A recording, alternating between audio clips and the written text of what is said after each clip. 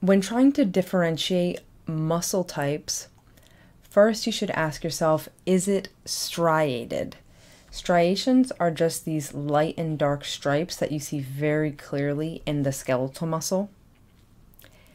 As soon as it is striated, you know it must either be skeletal or cardiac. Cardiac, the striations are less obvious. Um, if you look closely enough, you can see some light and dark bands, but you can always see intercalated discs in cardiac muscle. So those are those darker lines that are going in the same direction as the other striations. If you see those, you automatically know that it's cardiac muscle. The smooth muscle does not have any striations at all. It doesn't have intercalated discs, and that's what is going to help you identify it as smooth. So now let's try the practice questions and if you're getting them wrong and you don't know why, just leave me a comment and I'll try to point you in the right direction.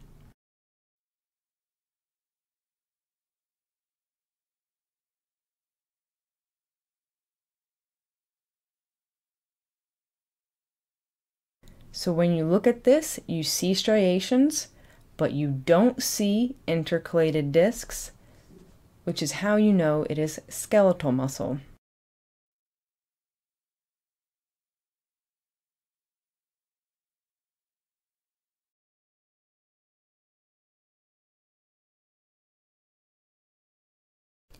So when you look at this, because you don't see striations and there's definitely not any intercalated discs, you know that it is smooth muscle.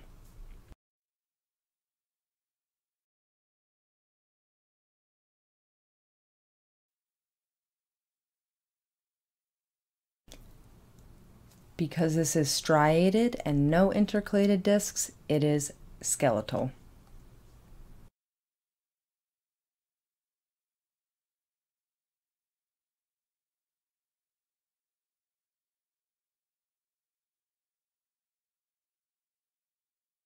It is very hard to see any striations in this picture, however, you do see intercalated discs. Here's one, there's one, there's one. They're all over the place, so once you see those, you know it is cardiac. And also, I'll point out that cardiac muscle does branch, so it's not just a straight line. So it also tends to look less organized and less like neat, even rows than the other two.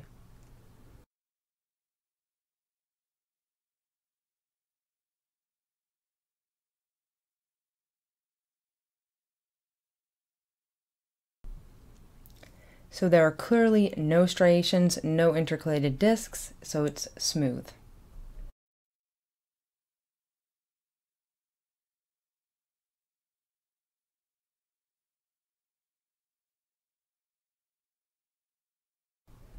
And once again, you can obviously see intercalated discs and it does have that very branched appearance. All right, so those are all the examples I have for you. If you're having trouble differentiating any of them, I suggest you try to get a bunch of examples um, of each type and put them side by side.